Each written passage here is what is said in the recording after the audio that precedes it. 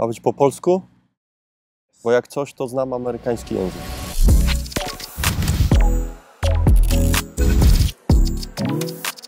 Szczęść Boże, witajcie kochani. Dzisiejsze słowo, którym się modlę, nie należy do przyjemnych, a słowo to grobowiec.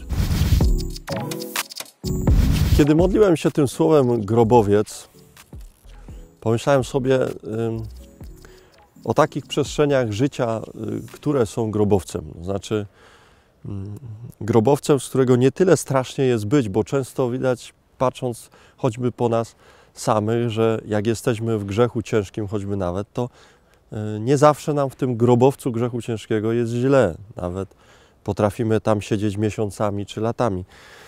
E, czy łatwo do niego wchodzić z powrotem, jak już wyjdziemy dzięki rozgrzeszeniu. Ale wiecie co, jakoś sobie uświadomiłem, że jak e, podobnie jak ten opętany w Ewangelii dzisiaj straszył innych po wyjściu z grobowca, to, to tak samo pomyślałem sobie, że jak my wychodzimy z tego grobowca naszego, to, to też możemy innych przestraszyć. Jeśli z grobowca uczynimy dom, jeśli z grobowca uczynimy nasze miejsce zamieszkania.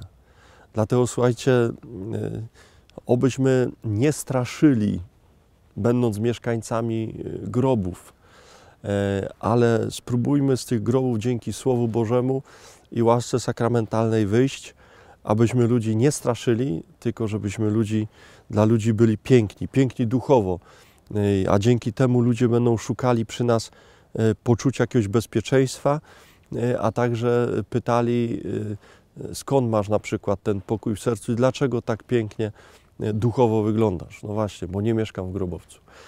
Niech to słowo nas z tego grobowca wyprowadza, a Bóg na to wyjście z grobowca niech nam błogosławi w imię Ojca i Syna i Ducha Świętego. Amen. Do jutra.